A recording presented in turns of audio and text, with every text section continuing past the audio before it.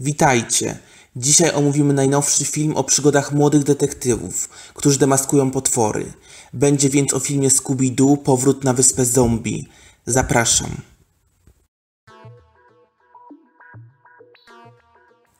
Film Scooby-Doo Powrót na wyspę zombie miał swoją premierę w Polsce 25 września 2019 roku i warto na samym początku powiedzieć, że ten film jest kontynuacją Scooby-Doo na wyspie zombie, czyli filmu animowanego, który powstał ponad 20 lat temu, dokładnie w 1998 roku i ja na przykład bardzo się cieszę, że ten film otrzymał swoją kontynuację, bo Scooby-Doo na Wyspie Zombie jest dla mnie takim synonimem dzieciństwa i strasznie byłem ciekawy, jak będzie to kontynuowane, co dalej stanie się na Wyspie Zombie. Jeśli ktoś nie widział Scooby-Doo na Wyspie Zombie, to teraz takie małe streszczenie. Jest to historia grupy detektywów, którzy są zmęczeni wiecznymi udawanymi zjawiskami nadprzyrodzonymi, yy, przebranymi potworami i szukają prawdziwego, nawiedzonego miejsca. W tym celu trafiają oni na wyspę Widmore, gdzie naprawdę dużo się dzieje, są zombie, jest tajemniczy kult, jest mrocznie, ciekawie. Jest to jeden z najlepszych filmów o Scooby-Doo Dlatego bardzo się bałem, że zniszczą pewną legendę mojego dzieciństwa.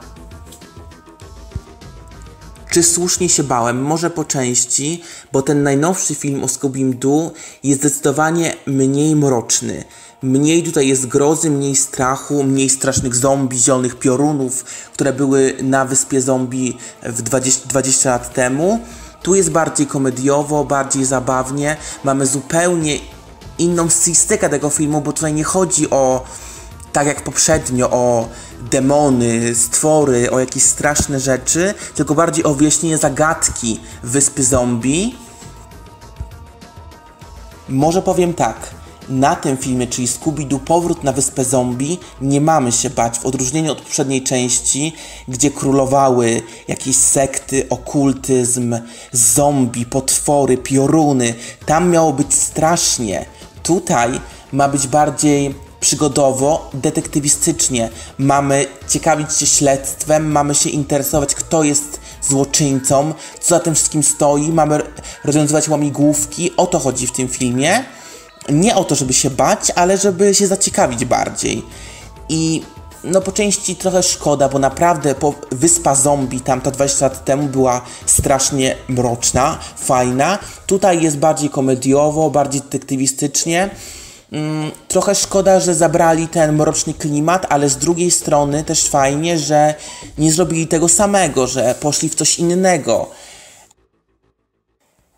Ale też warto wspomnieć, że pomimo tego, że tak jak mówiłem, tutaj nie jest tak paranormalnie, jak było poprzednio, to mam też pewien wątek taki niewyjaśniony, tajemniczy, paranormalny.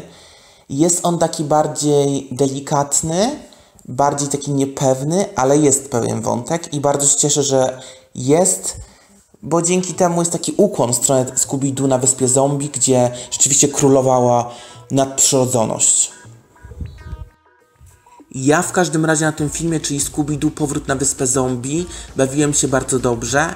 Jest to film pełny przygód, kolorowy, zabawny, jest ta nutka grozy, jest nawet ta nutka lat 90. E, to niektórzy mówią, że ten nowy Scooby-Doo to jest takie no, zniszczenie już całego formatu. Ja tak nie uważam, te nowe Scooby-Doo też są fajne, mają swój klimat, są trochę inne na pewno, ale tutaj na tym, czyli Scooby-Doo Powrót na Wyspę Zombie, jest taka nutka lat 90. Także tym fanom starego Scooby-Doo i też nowego polecam.